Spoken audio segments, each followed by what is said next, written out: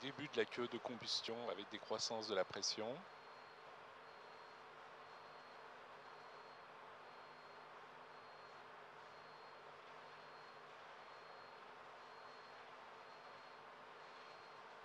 Queue de combustion du moteur.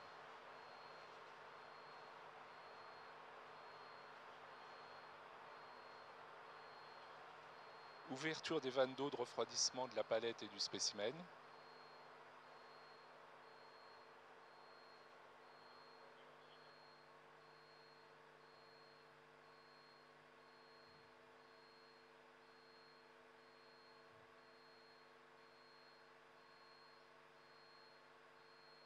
À tous de, de- du RCO, fin d'essai P120.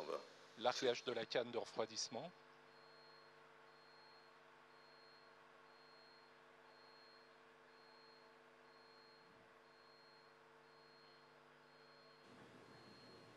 Donc course complète de la canne et début du refroidissement.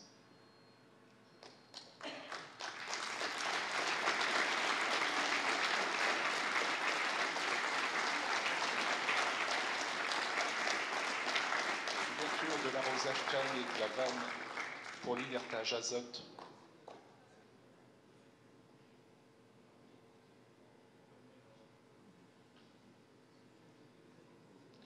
Donc l'essai P120 s'est bien déroulé, l'ensemble des paramètres acquis sont pour l'instant nominaux. Donc nous souhaitons remercier euh, et féliciter l'ensemble des équipes du CNES qui ont mis en œuvre cet essai, les équipes du CSG et aussi tout particulièrement les équipes du BAP avec la sous-direction sol et les équipes industrielles en support. Les petits déjeuners sont servis en salle euh, cafétéria Jupiter 2.